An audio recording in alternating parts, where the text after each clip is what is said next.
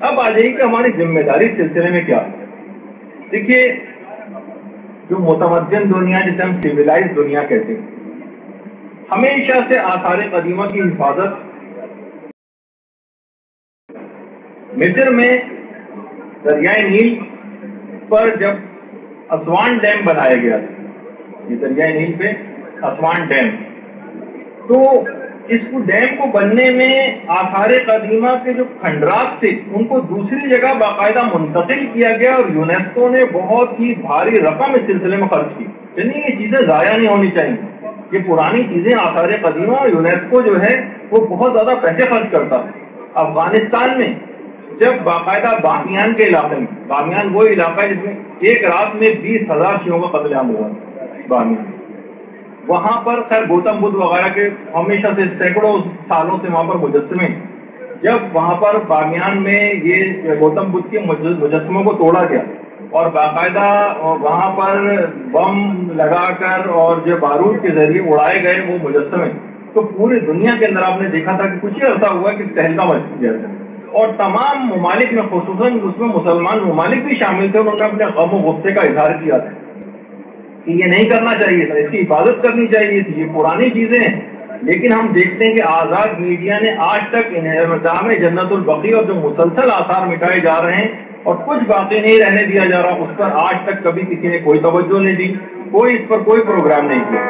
अब हमारी ज़िम्मेदारी ये है कि बोला जाए इस सिलसिले में, और संजीदा और इंसाफ पसंद जो मुसलमान भाई हैं उनको ये चीज़ बताई जाए। अच्छा बहुत से लोग अक्सर मायूसी का शिकार होते हैं, भाई हमारे बोले आज तक कुछ नहीं हो अब क्या हो जाए ओलामा ने बाकायदा एक बात कही कि देखिए, फौरी तौर पर बाकायदा कभी मकसद हासिल नहीं होता। हो सकता है एक लाख दफ़ा कहने पर वो मकसद हासिल हो जाए। तो आप आज जो अगर कोई मुजाहरा भी करते हैं, आप अगर कभी रोडों पर भी आप निकलते हैं, कोई मुजाहरा करते हैं, कोई किताब लिखते हैं, कोई तकरीर करते हैं, कोई जुमला किसी से कहते हैं तो आप कोई उस समंदर में अपना खतरा और एक हिस्सा डाल देते हैं। हो सकता है जब ये एक हज़ार दफ़ा हो जाए, एक लाख दफ़ा हो जाए, तब उसका नतीजा बरामद तो ये आपका आज इस किस्म का अमल। तो बहरहाल, ये कुछ ना कुछ अपना हिस्सा इसमें ज़रूर डालना चाहिए। इस मसले को इंसाफ पसंद लोगों के सामने रखा जाए, उनसे दलाइल के साथ बात की जाए कि देखो, ये हमेशा से ऐसा नहीं ये बहुत जुल्म किया गया है। और कुछ ना कुछ बात इस सिलसिले में ज़रूर की जाए। बड़े लेवल के ऊपर अगर देखें तो बाकायदा यूनेस्को है। कुछ नहीं तो आप ईमेल कर सकती हैं खत लिख सकते हैं वहाँ पर। ओ जो है organization of the Islamic conference. अब तो खैर इस तरह का बन गया कि लोग कहते हैं ओआईटी के मायने हैं कि कोई इस्लामी मसला इनके पास आता है ना तो फकत ये लोग ये कहते हैं ओ आई सी बस इसके अलावा कुछ नहीं कहते।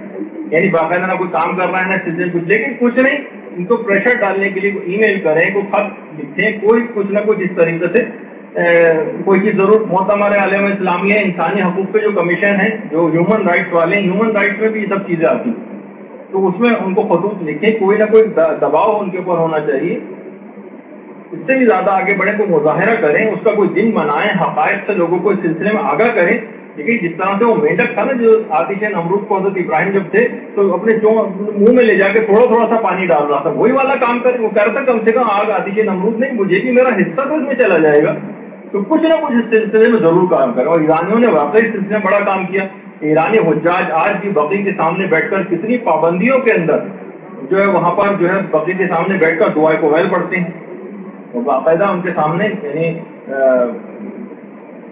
इस तरह से जो है वो अपने जानों को उस पर खतरे में डालकर बहरहाल वो खुद प्रोग्राम करते हैं और खुद रहबर मौसम आयतुल्ला खामने जब हज पे तशरीफ़ ले गए थे तो वहाँ पर उनसे कहा गया था कि मदीने में की जो मस्जिद है नबवी है इसमें जुमे की नमाज़ आप पढ़ाई आपने मना कर दिया था। कहा जब तक मेरी जद्दा की कबर और बकी के तामीर के असबाब पैदा नहीं होंगे, जब तक मैं एहतजाजन यहाँ पर नमाज़ नहीं पढ़ा। अपना एक एहतजाज वहाँ पर रिकॉर्ड करा है।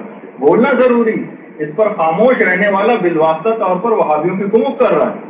ऐसा करने वाले जिन्होंने भी ये वाक़ वहाँ पर किया है और इसका इंतज़ाम किया है, उलमा फरमाते हैं कि उन्होंने अपने दामन पर एक ऐसा धब्बा लगा है कि अब आबे कौसर से भी वो धोया नहीं जा सकता। और अहले रसूल की शहादत के बाद भी जुल्म के सिलसिले को जारी और सारी रखा हुआ है। सारी ज़िंदगी को सुकून का सांस लेना नसीब नहीं हुआ और चौथे इमाम तो यहाँ तक फरमाते थे कि हमारी ईदें भी हमारा मातम।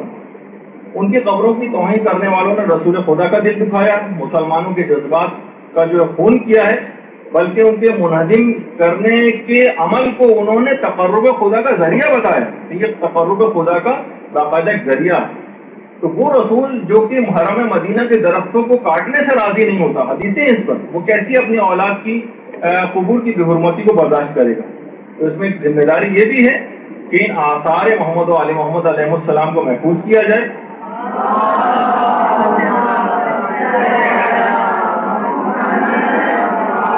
और इसमें सिर्फ़ कबूर शामिल नहीं, इसमें फकत गुंबद शामिल नहीं, ये है अपनी जगह पर। लेकिन इसके साथ साथ एक चीज़ का इजाफा और कर लें, और वो है तालीमत और अहादीस मुबारक मोहम्मद मोहम्मद इनकी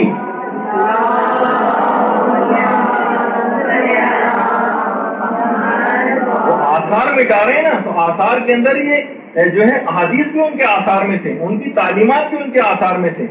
उनको जहन नशीन भी होना चाहिए, दिल में भी जगह होनी चाहिए, इनका मुताल भी कसरत से करें, इनको फैलाएँ भी, इनके आसार को ज़ाहिर भी करें, इनको अमल के ज़रिए इनके आसार को ज़ाहिर करें।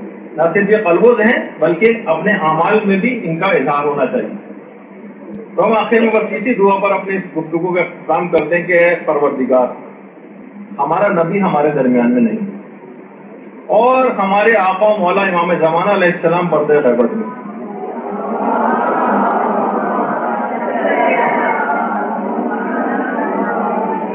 फितनों की शिद्दत है, दुश्मनों की कसरत है, दोस्तों की किल्लत है।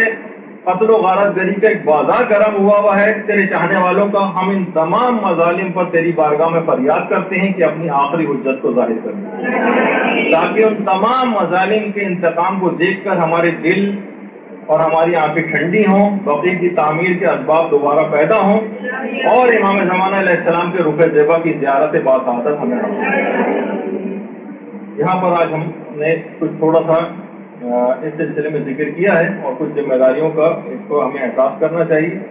कोशिश करें कि इन बातों को दूसरों तक भी पहुँचाएँ, जहाँ तक मुमकिन हो सके। और इंशाल्लाह अगले नेतृत्व में अगली गुफ्तु के साथ दोबारा हाजिर होंगे। वसल्लल्लाहु अला मुहम्मदिन व